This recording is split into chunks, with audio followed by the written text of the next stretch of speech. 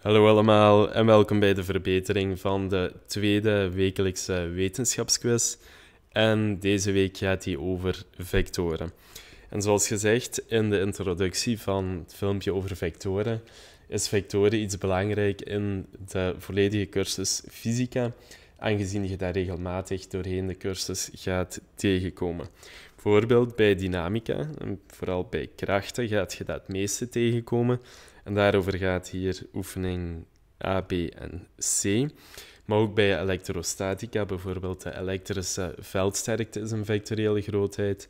Ook bij elektromagnetisme, de grootte van het magnetisch veld, ook wel de magnetische inductie genoemd, is een vectoriële grootheid en zo verder. Dus doorheen heel de fysica gaat je vectoriële grootheden gaan tegenkomen en gaat je daar dus mee moeten gaan leren rekenen, net gelijk bij scalaire grootheden.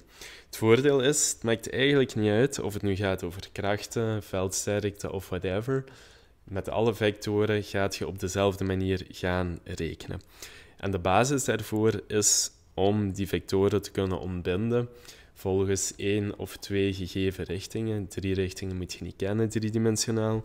Maar dus volgens één of twee richtingen, eendimensionaal, tweedimensionaal, kan gegeven zijn, zoals hier. Of het kan zijn dat je zelf het assenstelsel nog moet gaan kiezen, zoals op het examen meestal het geval zal zijn. En de basis is dus om te kunnen gaan ontbinden in componenten, want eens je dat hebt, eens je de componenten kent, kun je dan ook vectoren gaan optellen of aftrekken. Meestal gaan we ze optellen. En bijvoorbeeld alle vectoren optellen om tot de resulterende vector te gaan komen. Dat is iets waar je heel veel tegenkomt. Uh, het kan ook zijn dat je de grootte van een vector moet bepalen. Dat kun je ook doen eens je de componenten kent en met Pythagoras. Of het kan zijn dat je de hoek moet gaan bepalen van een vector met de horizontale of de verticale. En dat gaat je ook allemaal kunnen eens je de componenten van die vector hebt. Dus vandaar gaat deze oefening puur over het berekenen van de componenten, aangezien dat eigenlijk een beetje de basis is voor te, of om te kunnen rekenen met vectoren, moet je die componenten kennen. En ik zal zelfs nog wel eens tonen, als je die componenten kent, hoe je dan de resulterende vector gaat bepalen of de grootte daarvan. We gaan dus beginnen met het bepalen van de componenten.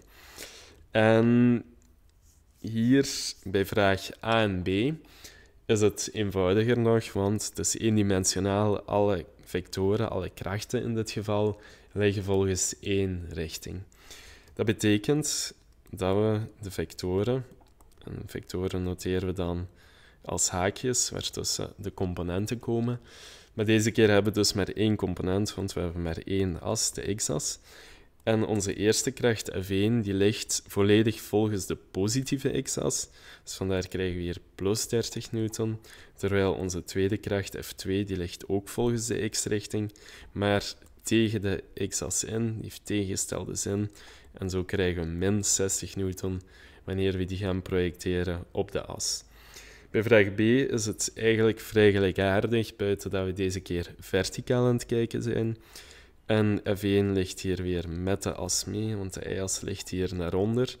En F1 ligt ook naar onder. Dus F1 is plus 40 newton, terwijl F2, als we die projecteren op onze y-as, krijgen we min 10 newton. Dat is voor het eendimensionale geval. Vraag C was dan tweedimensionaal. En dat betekent dat je vectoren die niet volgens een van beide richtingen liggen, dat je die gaat moeten ombinden. En als we eens kijken naar onze drie vectoren hier, dus enerzijds hebben we F1, die volledig volgens de y-as ligt. Anderzijds hebben we F2 en F3, die schuin liggen en die dus een component gaan hebben volgens zowel de x als de y-richting. Als we nu die componenten gaan bepalen, dus voor F1 is het eenvoudiger. Dat is een beetje gelijk het eendimensionale geval. Buiten dat we nu dus twee componenten hebben, maar één gaat hier 0 zijn, namelijk de x-component. Want f1 ligt volledig volgens de y-richting. Dus de x-component gaat 0 zijn. De y-component heeft hier als grootte 800 newton. Maar gezien de kracht tegen de y-as in ligt, krijgen we hier min 800 newton. F2 en F3 gaan we dus moeten ontbinden volgens zowel een x-component als een y-component, die beide verschillend zijn van 0. En ik zal misschien even nog eens wat groter gaan tekenen. Dan gaat het duidelijker zijn. Dus we hebben hier onze F2. Hier hebben we onze F3. En om die nu te kunnen ontbinden, gaan we een hoek moeten gaan kennen. Dus als we de componenten gaan tekenen.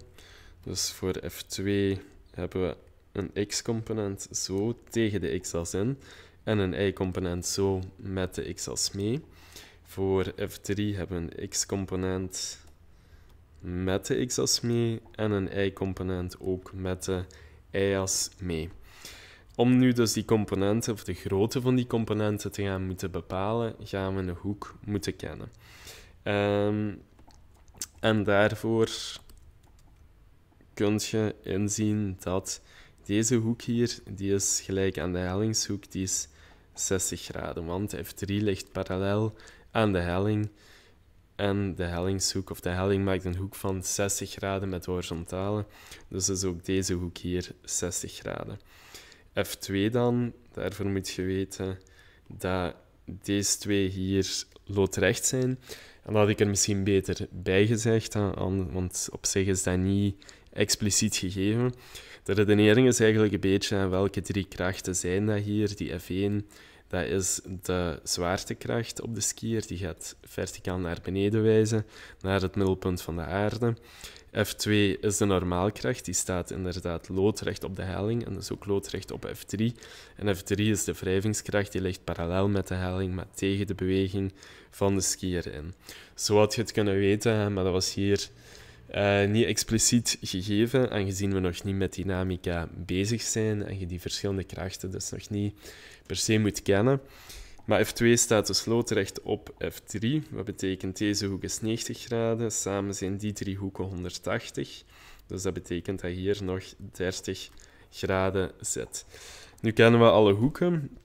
Dus nu kunnen we F2 en F3 gaan, of de componenten ervan gaan berekenen. We zullen beginnen met F2. Dus F2 hadden we gezegd heeft een negatieve x-component en een positieve y-component.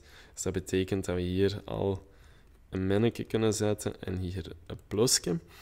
Om nu de grootte van die x-component te gaan berekenen, dan gaan we dat doen door f2 maal de cosinus van 30 graden te doen. Waarom de cosinus? Wel, omdat we kennen hier deze hoek, 30 graden, en onze x-component waar het over gaat, die is, dat is de aanliggende rechthoekzijde voor die gekende hoek. En aanleggen betekent altijd cosinus, overstaand, dus voor onze y-component betekent sinus. Dus hier krijgen we f2 maal sinus van 30 graden. En nu kunnen we dat uitrekenen, want we weten f2 heeft als grootte 400 newton. De cosinus van 30 graden is wortel 3 over 2, dat vind je op je formularium. En de sinus van 30 graden is 1 over 2, vind je ook op je formularium.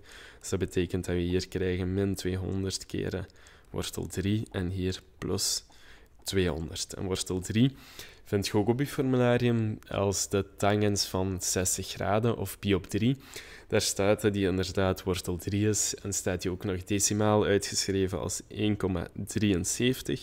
En als we dat maal 200 doen, is dat dus 173 maal 2 en komen op min 346 newton in de x-richting, 200 newton in de y-richting. En merk op dat ik nu pas mijn uh, eenheid ga schrijven, aangezien ja, het is, gewoon properder als je hier elke keer nog newton gaat tussen schrijven. Het is niet nodig en het gaat het alleen maar onoverzichtelijker gaan maken. Voilà, dat voor F2. Voor F3 is het eigenlijk volledig analoog. Dus we gaan beginnen met te kijken. We hebben twee componenten, eentje volgens de x-richting, eentje volgens de y-richting. En we gaan kijken of die positief of negatief zijn. En dan zien we dat die de x-component met de x-as mee is, dus positief. De y-component met de y-as mee, dus ook positief. Dus we krijgen plus plus. En om de grootte te bepalen gaan we weer de volledige, de grootte van de volledige vector, dus in dit geval de volledige kracht, maal de cosinus of de sinus van de gekende hoek doen hier. En de x-component is weer aanliggend voor die 60 graden, vandaar maal cosinus 60. De y-component is overstaand, vandaar maal sinus 60 graden. En als je dat uitrekent, krijg je uh, F3 is 200 newton, cosinus 60 graden vind je op je formularium is 1 tweede.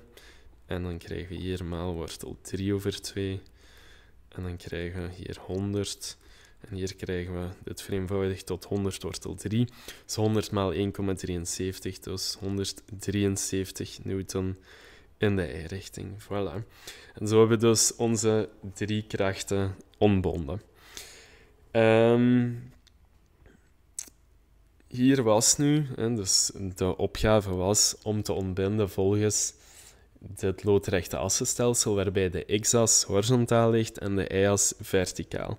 En je zag dat je daardoor hebben twee krachten moeten ontbinden, want F2 en F3 lagen allebei schuin volgens dat assenstelsel. Op het examen gaat je dus meestal zelf je assenstelsel moeten kiezen. En hier zou het logischer zijn om een assenstelsel te kiezen waarbij één as parallel ligt aan de helling, dus zo, en een andere as loodrecht op de helling, dus zo. Dus als ik dit de x-as noem en dit de y-as, en dan zou je bijvoorbeeld krijgen... Ik zal het even...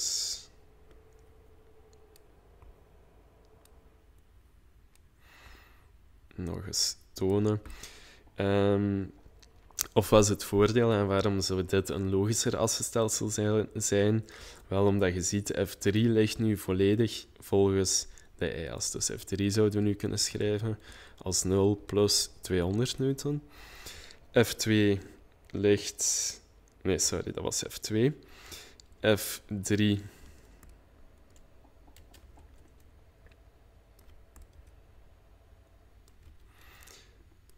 F3 ligt volledig volgens de negatieve x-as, dus kunnen we schrijven als min 200.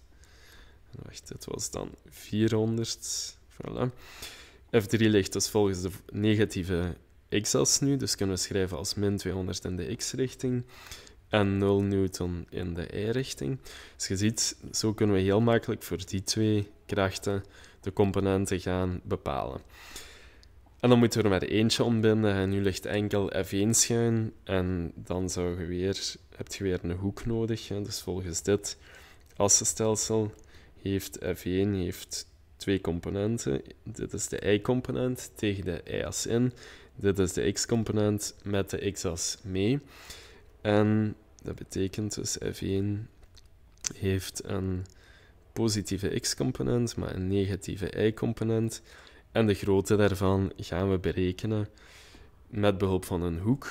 En dan zou je kunnen inzien uh, dat. Kijken. Dus deze hoek hier is 30 graden bijvoorbeeld, want je weet, dit hier is de hellingshoek van 60 graden. Dus schiet hier nog 30 graden over. Wat wil zeggen dat we die x-component, die is aanliggend voor die 30 graden, dat we die kunnen schrijven als f1 maal cosinus 30.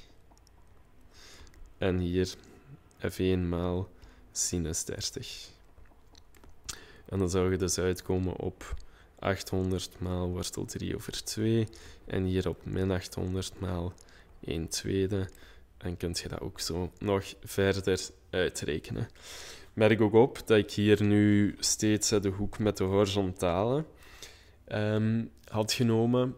Op zich als jij, stel dat jij had gevonden dat deze hoek hier 60 graden was, was dat ook perfect geweest. Maar dan was, als je het dan zo ontbonden hebben, dus nu even terug volgens dit assenstelsel hier.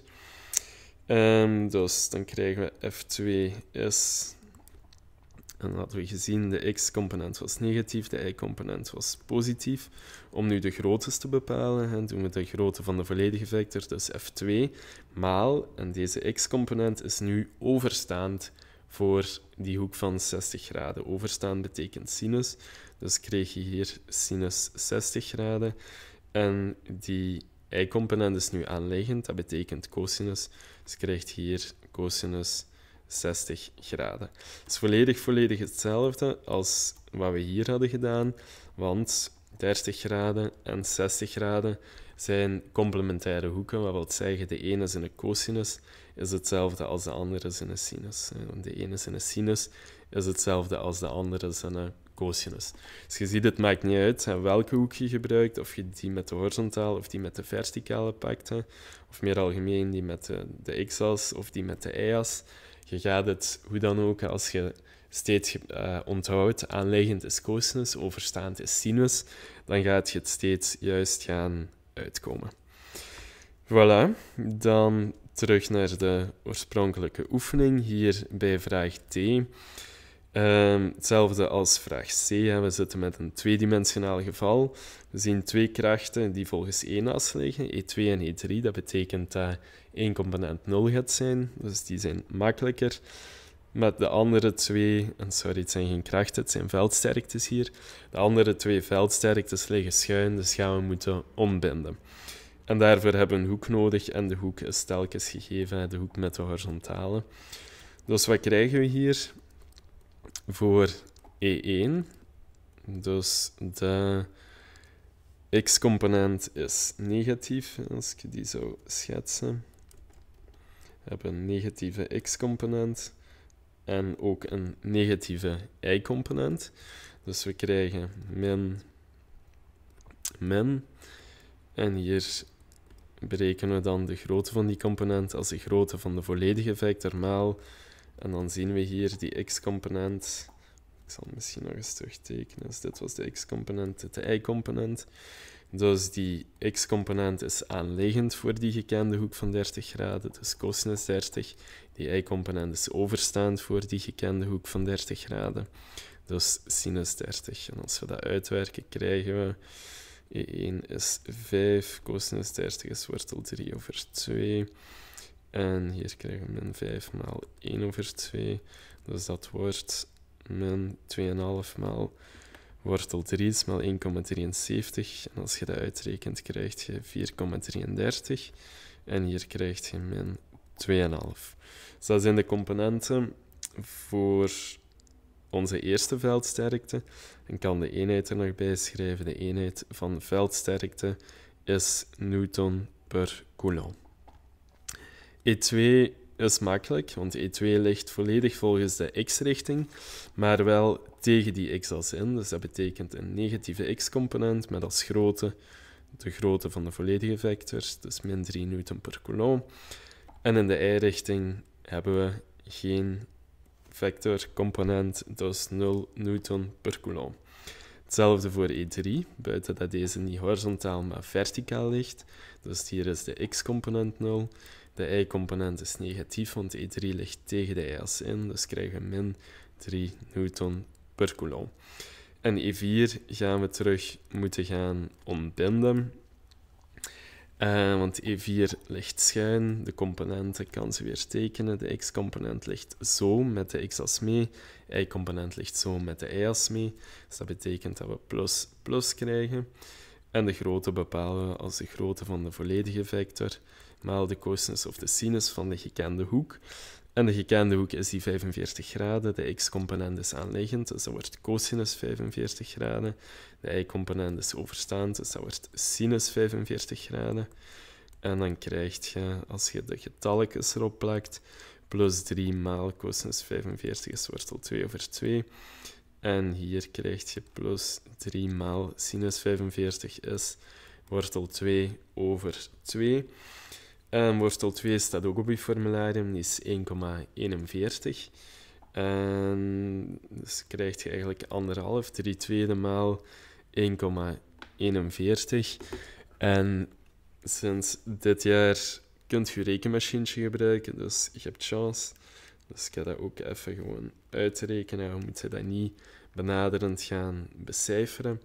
En dan komen we uit op 2,12 newton per coulomb in de x-richting en 2,12 newton per coulomb in de y-richting. Voilà. Dat is de ontbinding van deze vier elektrische veldsterktes. Hier is het volledig analoog. Wel opletten, deze keer is onze x-as naar links genomen, onze y-as naar onder. En we zien dat we ze niet alle vier, maar dat we er drie gaan moeten ontbinden, want B4 ligt volledig volgens de x-as, wel volgens de negatieve x-as, maar B1, B2 en B3 liggen schuin, dus gaan we moeten gaan ontbinden.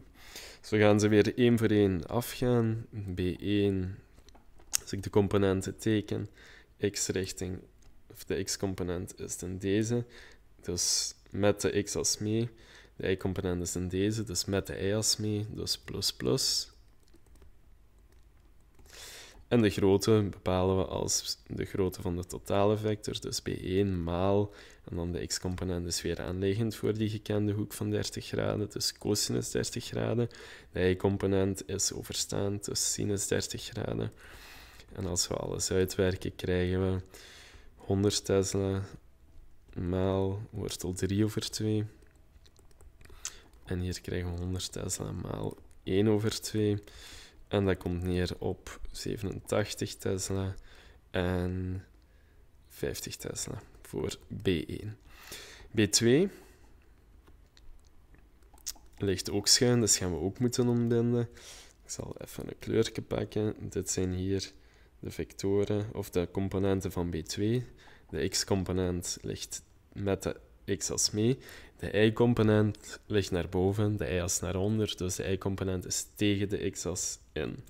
Dat wil zeggen dat de x-component positief is, de y-component negatief. De groottes berekenen we als b2 maal. Hier is het. We hebben nog een hoek nodig. Hè. Um, en aangezien dit 135 is, is dit 45, want samen moet het 180 zijn. En dan is de x-component aanliggend voor die hoek van 45, dus cosinus 45. De y-component is overstaand, dus sinus.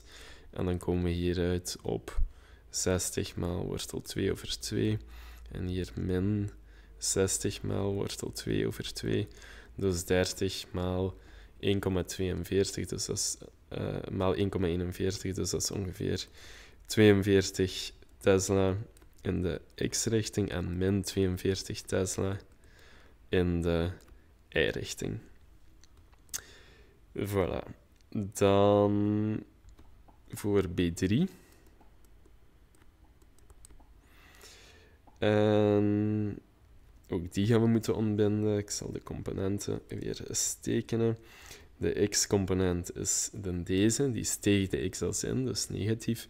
y-component is deze, met de y-as mee, dus positief. Dus we krijgen een negatieve x-component, positieve y-component, en we berekenen die als de volledige grootte van de vector b3 maal een cosinus of sinus van een hoek. En aangezien hier 30 graden zit, hier 90, schiet er hier nog 60 graden over. En de x-component is aanliggend voor die hoek van 60 graden, dus krijgen we cosinus 60. En hier krijgen we sinus 60. En als je dat uitrekent, krijg je min 150 maal cosinus 60 is 1 tweede. En hier plus 150 maal sinus 60 is wortel 3 over 2. En uitgerekend wordt dat min 75 Tesla in de x-richting. En dan 75 maal 1,73. En dat is 130 ongeveer afgerond Tesla in de y-richting. En dan hebben we nog B4. En B4, daarmee hadden we chance. Dat is dan deze hier, die ligt volledig volgens de negatieve x-richting. Dat betekent dat we hier min 80 Tesla krijgen. En dan dat we in de y-richting 0 Tesla krijgen. Voilà. Dus dit is de ontbinding van alle magnetische veldvectoren B1, B2, B3 en B4. Dat is dus de basis, ontbinden. Um, misschien nog even ter verduidelijking. We hadden gezegd, ontbinden is de basis, want dat gaat je vaak moeten eerst doen voor je de resulterende vector kunt gaan bepalen, vectoren optellen, of voor je de grootte van een vector kunt bepalen, en zo verder. Ik zal een voorbeeld geven. Stel dat er gevraagd was... Uh, ik zal het hier even achter zetten.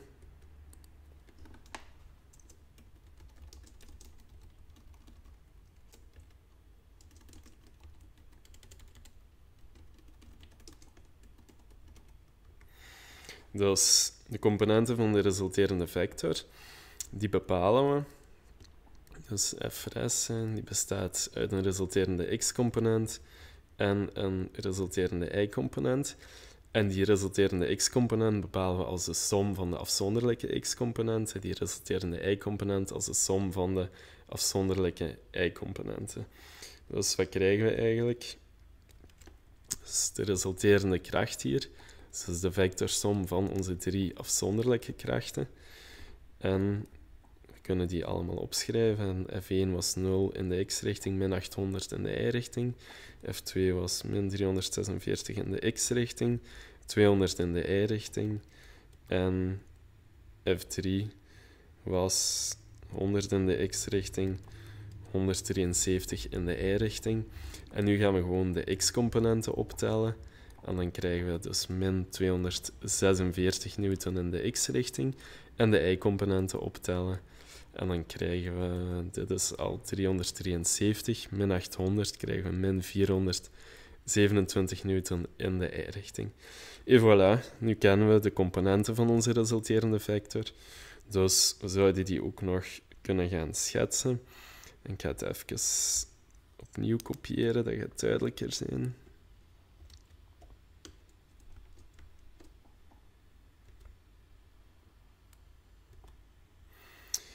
Dus onze resulterende kracht heeft een x-component van min 246. Dus dat betekent tegen de x-as in. De x-as ligt naar rechts, dus naar links. En 246, dat gaat ongeveer zoiets zijn. Het is maar een schatting, maar dit was 200, dus dit 246.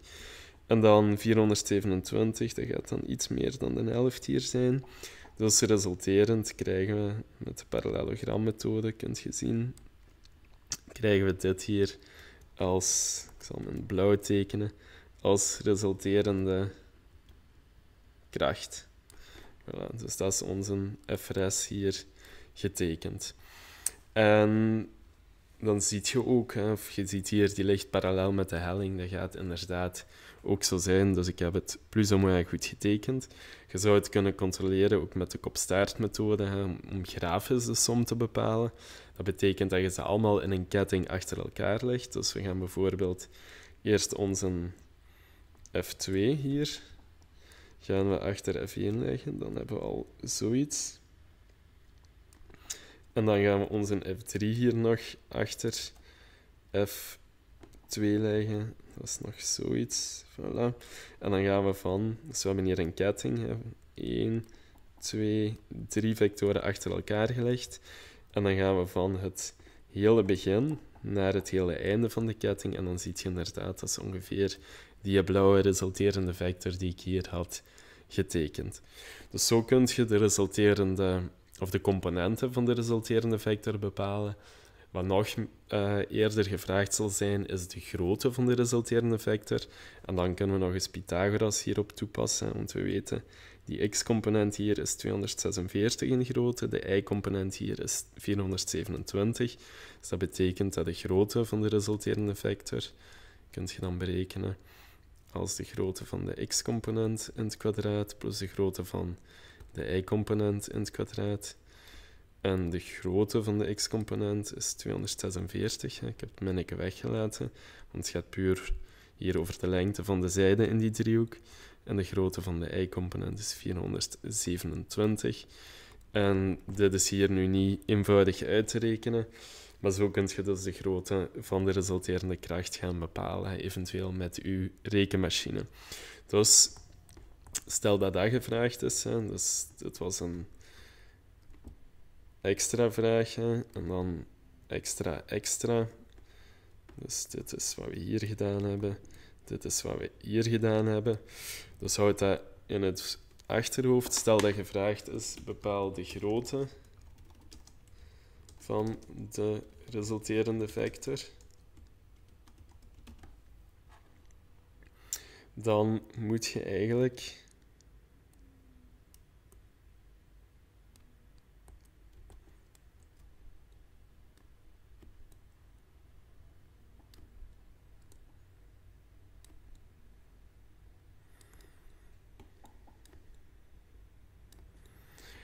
moet je deze drie stappen doorlopen. Dus één, bepaalde componenten van de afzonderlijke vectoren. Dus dat is wat, we hier, wat oorspronkelijk de opgave was. Dan twee bepaalde componenten van de resulterende vector. En dat doe je door per richting de componenten te gaan optellen. En drie, bepaal dan, eens je die componenten hebt van de, de resulterende componenten, kun je met Pythagoras de grootte van de resulterende vector gaan bepalen. Dus die stappen. En je ziet, het begint dus met het bepalen van de componenten van de afzonderlijke vectoren. Dus vandaar eh, is dit een belangrijke oefening dat je daar goed beet hebt. Alright, dan gaan we naar vraag 2. En hier was dan de grootte van de resulterende versnelling gevraagd. We hebben hier twee componenten, een tangentiële component en een normale component. En je weet dat die loodrecht op elkaar staan. Dat wil zeggen, als ik nu de grootte wil bepalen, dan kan ik, ik kan hier met de parallelogrammethode, kan, ik zal terug een kleurje pakken, kan die componenten, die normale component, kan ik ook hier naar hier verplaatsen. En die tangentiële component naar hier. En dan zie je de resulterende, of de totale versnelling, is dus eigenlijk de vectorsom van die beide componenten. Geeft dus onze versnelling a hier. En de grootte daarvan kunnen we dan berekenen met Pythagoras. Dus onze versnelling a is onze tangentiële versnelling, de grootte daarvan in het kwadraat, plus de grootte van onze normaalversnelling in het kwadraat en daar de wortel uit. En als we dat hier dan gaan uitrekenen, krijgen we dus wortel, wortel 3 in het kwadraat plus 1 in het kwadraat en dan krijg je dus de wortel van 3 plus 1, dus wortel 4 of 2 meter per seconde kwadraat. Dus dat is de grootte van onze versnelling die hier schuin naar binnen ligt. En die hier onbonden gegeven was met een tangentiële component wortel 3 meter per seconde kwadraat en een normaal component 1 meter per seconde kwadraat. Dan de hoek die de resulterende versnelling maakt met de richting en zin waarin de fietser beweegt. Dus als je kijkt, ik zal het iets groter tekenen nog eens. Dus dat was onze resulterende versnelling. En dan hadden we hier tangentiële component, hier een normale component, die was wortel 3, die was 1. En hadden we gevonden, onze totale resulterende versnelling was 2 meter per seconde kwadraat. De hoek die nu gevraagd is, dat is de hoek met de richting en de zin waarin de fietser beweegt. Dus dat betekent eigenlijk deze hoek, of de richting en de zin waarin de fietser beweegt, dus deze, dat is dan onze t-as. En de hoek die de versnelling nu maakt, dat is dus deze hoek hier, ik kan hem alfa noemen, die is gevraagd. Hoe gaan we dat nu doen? Wel, we hebben, wat kennen we voor die hoek alfa? De overstaande zijde en de schuine zijde. Dus dat betekent de sinus van alfa is overstaand over schuin, dus 1 over 2. En daaruit kunnen we alfa halen. Alfa is dan de boogsinus, of sinus tot de min eerste, van 1 tweede. En dan vragen we ons af welke scherpe hoek als sinus 1 tweede heeft. En dan is het antwoord 30 graden. Je had het ook kunnen doen met bijvoorbeeld hier de componenten, want nu gaan we eigenlijk verder op vraag A. Stel dat je vraag A niet wist, dan had je ook met de aanliggende zijde en de overstaande zijde voor alfa kunnen werken. En dat is dan de tangens, want de tangens van alfa is overstaand, en dat is hier 1. Over aanliggend, dat is wortel 3. Dus alfa zelf is de boogtangens van 1 over wortel 3. En ook op je formularium kunt je terugvinden welke hoek als tangens 1 over wortel 3 heeft. En dat is hetzelfde als zodat wortelvrij, de noemer wortel vrijmaken. is hetzelfde als wortel 3 over 3. En dat is de hoek 30 graden. Voilà. Dan de laatste. Ik ga hem iets groter zetten. Dus moesten we die vectoren telkens grafisch gaan ontbinden volgens de twee gegeven richtingen. En dat doen we door die richtingen, door één richting te gaan verplaatsen naar de staart van de vector. Dus we hebben hier Voilà, dat is die richting. En de andere naar de kop van de vector. Dus dat is ongeveer zoiets, denk ik. Het, is niet, het is maar een schetsje. Als je een geodriehoek bij de hand hebt, dan kun je het wat preciezer doen. En dan zie je hier dus de componenten ontstaan. Hè. Er is maar één manier om vanuit de staart in de kop te geraken via volgens deze en deze richting. En dat is door eerst zo volgens die richting te gaan en dan zo volgens die richting. Dus dit zijn de componenten. Je had ook nog beide richtingen in zowel de kop als de staart kunnen tekenen en dan krijg je eigenlijk een parallelogram. Ik kan ook hier in de kop kan ik ook de andere richting nog gaan schetsen. Dus dat is zoiets. En in de staart kan ik ook de andere richting nog gaan tekenen. Dus dat is, zoiets. Voilà. En nu zie je dus het parallelogram ontstaan, waarvan de zijden dus 2 en 2 de componenten zijn. Dus deze component hier ziet je nu ook hier verschijnen. En deze component hier ziet je nu ook hier verschijnen. Dus je kunt ook denken om van hier naar hier te geraken, kun je ofwel eerst zo in die richting en dan zo in de andere richting, ofwel eerst zo in de andere richting en dan zo in de ene richting. Dat is volledig hetzelfde. Maar zo hebben we dus onze gegeven vector, onze blauwe vector, ontbonden in twee componenten volgens die twee gegeven richtingen. Dus ofwel dit, ofwel dit was goed genoeg geweest. Bij de rest gaan we ook maar telkens eentje, eentje gaan tekenen. Dus ik ga bijvoorbeeld deze richting verschuiven naar de staart, deze richting verschuiven naar de kop. En dan krijg ik uiteindelijk, zie ik zo de componenten ontstaan. Dus er is maar één manier om van hier naar hier te geraken. En dat is zo lang in die richting te gaan en dan zo lang in die richting te gaan. Idem bij C. Schuiven die richting naar daar, die richting naar daar. En dan zie je ook hier de componenten weer ontstaan. Dus eerst gaan we in deze richting, vanuit de staart naar daar. En dan gaan we zo om in de kop terecht te komen. En idem hier bij de laatste. Dus we verschuiven deze richting naar de. Uh, deze richting hier naar de staart. Zoiets ongeveer. De andere richting naar de kop. Zoiets ongeveer. En dan krijgen we dus deze twee componenten volgens die twee gegeven richtingen. Dus dat is hoe je vectoren ontbindt volgens twee gegeven richtingen.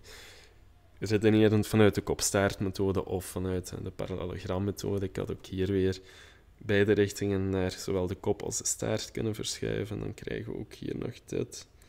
Zo. En zo ongeveer. En dan had je ook hier diezelfde componenten zien ontstaan. Dus dat is redenerend vanuit de parallelogram-methode. Voilà, dat is alle drie vragen over vectoren. Ik hoop dat je inzicht over hoe je met vectoren rekent zowel wat verbeterd is. Ik zeg het, dat is echt een belangrijke basis. Dus ik hoop dat je dat goed beet hebt. Anders bekijk het gerust opnieuw. En dan gaan we verder volgende week met een quizje over kinematica. Heel veel succes en tot dan.